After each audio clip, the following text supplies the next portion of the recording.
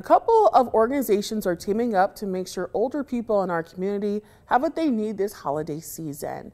Today, Positive Reflections Community Outreach and Grace Outreach Ministry hosted an elderly Holly Jolly Door Dash drop. The two groups are collecting items like food and winter clothing for the elderly in our community.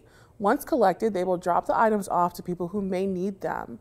The organizers say the elderly have been greatly impacted during the outbreak. They wanted to help them in any way they could. Due to COVID, we knew that our elderly were more at risk at going out. Mm-hmm. So they wouldn't get out or can't get out as often or frequently as they used to.